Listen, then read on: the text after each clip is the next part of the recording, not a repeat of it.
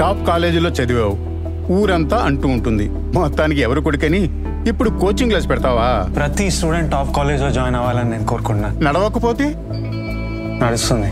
ఊరంతా అంటుంది కదా మొత్తానికి ఎవరు కొడుకని.